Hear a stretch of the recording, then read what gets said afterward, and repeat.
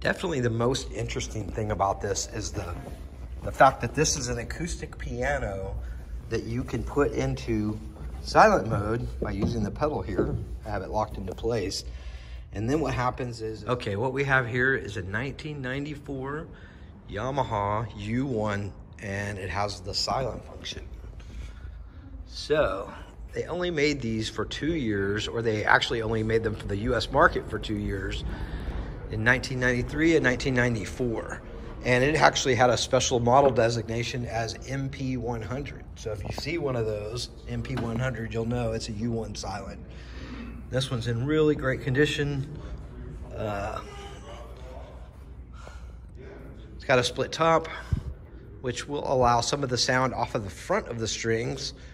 Most pianos, you can only get, uh, you know, sound coming out of the sounding board of the rear of the piano, but this one has several listening positions. You can do it closed.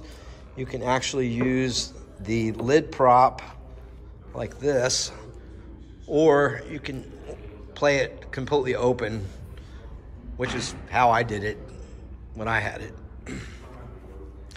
So it's an ebony polish. Finish is in great condition. Uh, bench is showing somewhere.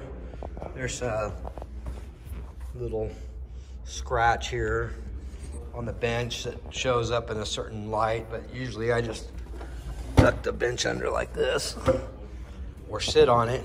That solves that problem. but here's a little clip of the piano playing. Check it out.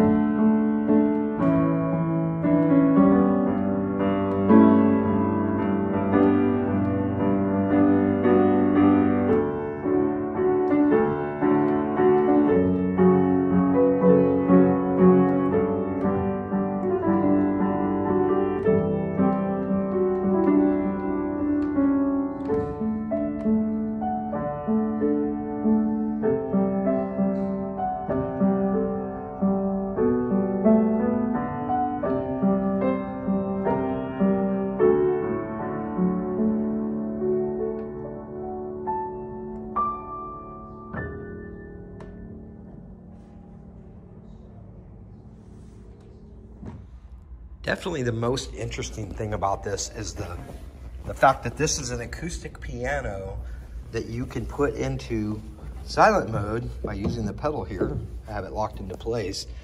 And then what happens is, is there isn't any sound other than the mechanical sound of the uh, key depressing and the action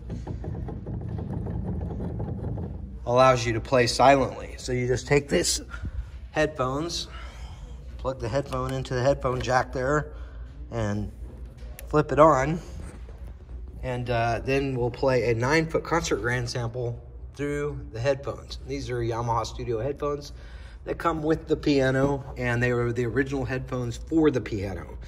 And so another cool thing is, is it does have a MIDI output also. So one other way you could use this is you could plug it into either a computer or you could plug it into a uh, into another workstation or another keyboard and that would allow you to play any of those sounds using the real piano action.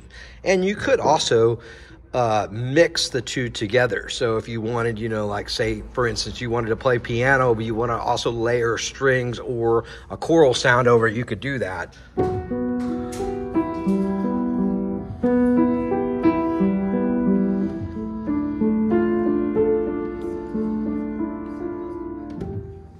Finally, one other way you could use this is you could use the audio output to output the sound to a larger speaker uh, or amplifier. And that way you could amplify the nine foot concert grand sound uh, as well. So hope you guys enjoyed this video. And if you're interested in the piano, feel free to reach out to Alamo Music 210-224-1010. Thanks for listening.